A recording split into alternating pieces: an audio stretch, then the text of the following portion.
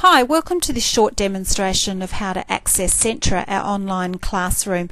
In the next couple of minutes, what I'll do is take you through how to set up um, Centra initially on your computer and give you a really short session, um, introduction to how it all works. When you first start up Centra, as I'll show you in a moment, um, you will need to load the program onto your computer so that you can um, you can access it.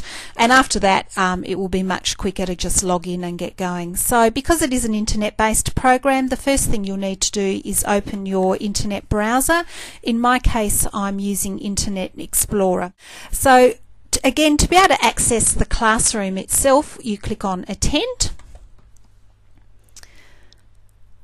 and it's just a little question about um, here Java because the computer the um, program does use JavaScript.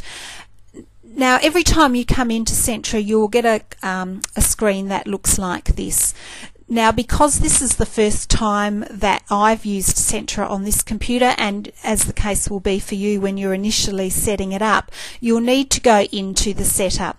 What will happen after that, whenever you um, access the classroom, from this point it should take you directly into the classroom, but because this is the first time, we'll need to run through the setup of the program. Now I'm going to give you a really um, short overview of the different um, tools that we have in Centra. Um, because it's just me here, um, I'm not able to, to do too much on my own, but I'll just let you know what things um, and it's going to take me through that again. Okay. Um, there. Over on the left-hand side, you'll see there are a list of participants, and it's poor old me on my own here today. Um, but generally in the top um, button there, or section there will be the lecturers and they have access to to other controls um, beyond what's here um, and then all the participants are there. Now you'll notice that next to my name I have a microphone that means that I'm able to speak at any point when I'm ready.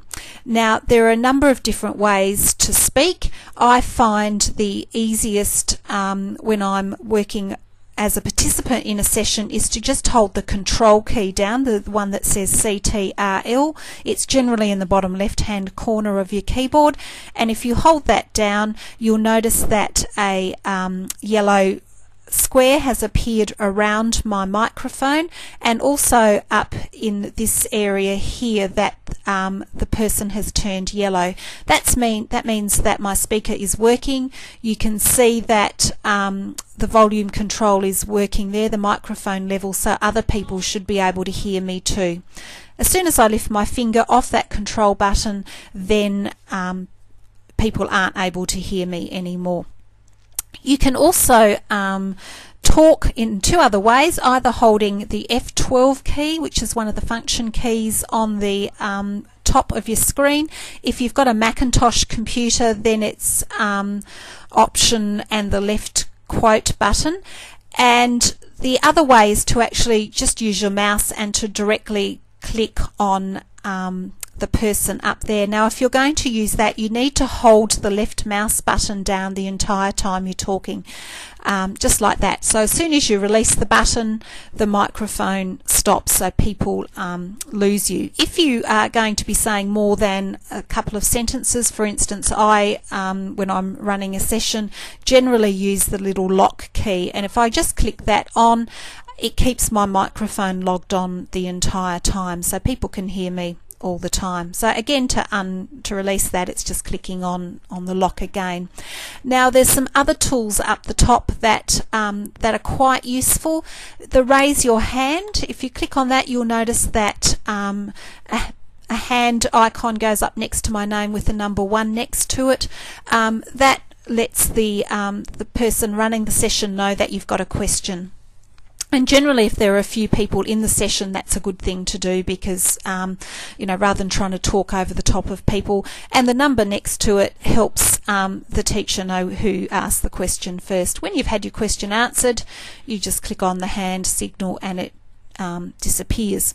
There's also up here a yes and a no um, icon. So sometimes um, you may be asked some questions during the session. You know, can you hear me? Is it all going well? Do you have any questions? You can again respond by either a yes if you agree, and again once you've um, answered that, you can click to take it off. Similarly, no works in the same way. There's also um, a couple of, of other icons that are really good to use because they give the um, the person running the session some feedback. Um, it can be a little tricky when everybody's sitting in their own um, computers at home that you know you, you don't get to see that body language and people's facial expressions. So, you know, if somebody says something funny, give them a bit of feedback and and laugh. If you agree with something they're saying or whatever, then you know some claps are a good thing to do too. Um, the next one is, is quite an important tool as well. It's called Step Out and you know, particularly if you're doing these sessions from home, you'll know, you know, homes are busy places and normally when you sit down to do it, the phone rings or somebody wants something. So if you do need to leave a session for whatever reason, then if you just click on the step out button, you can see my name's faded to grey and the little step out symbol is there. That will let your lecturer and any other um, people attending the session know that you've had to duck out for a minute or two for whatever reason. So that's, you know, that's an important important one to do and we know not to ask you any questions because you're not actually here at the moment. You can still hear what's going on through your headset um, but yeah but we know you're not there for a moment and again when you're back click on that and we know that that you're there ready to go the um, the next tool is a text chat um, button and what that does as you can see here it's opened a text chat box on the screen. And quite often particularly I know I use this quite a lot and I get people at the beginning of sessions to open their text chats um, just so that you can send messages via text rather than, than microphone. Sometimes people feel more comfortable um, doing that, and other times, um, if, if someone's talking in the middle of, you know, you don't want to interrupt them in the middle of what they're doing, so you may type a question or a comment in the text chat. Um, you can see here you can send it to all. Um, so that everybody sees it.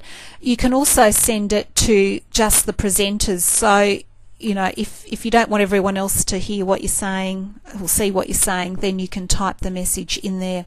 Um, the presenters also have the option of turning on people's text chats. So quite often what I'll do at the beginning of a session is um, send a message to everyone and your text chat will open automatically. So don't panic if that happens. Um, that's just us being able to make sure it's open.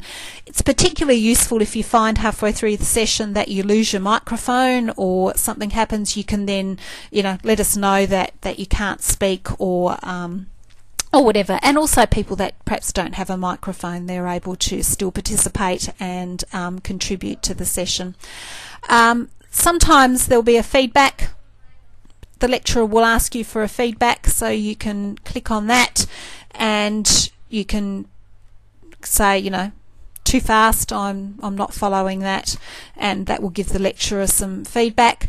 Um, the audio tool we talked about before. Again, as I said, it'll take you through that audio wizard to check it's all working. And then full screen will just make the screen full screen.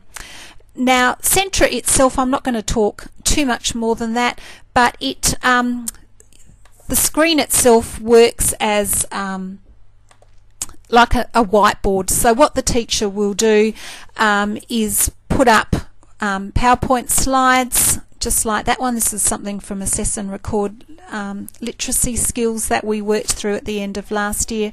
Um, so they'll talk talk to that. They'll ask questions. Um, there's also an opportunity to um, for you to access the whiteboard and I haven't got the tools going to be able to show you that now but if you join in on our um, practice sessions you'll have a go at using those tools as well. I'm going to um, finish the session now just to say once you have finished your um, Centra session um, and everyone said goodbye then it's just a matter of clicking on the cross at the top and it will say are you sure you want to exit you click on OK Thanks very much, and I'll finish there. Bye.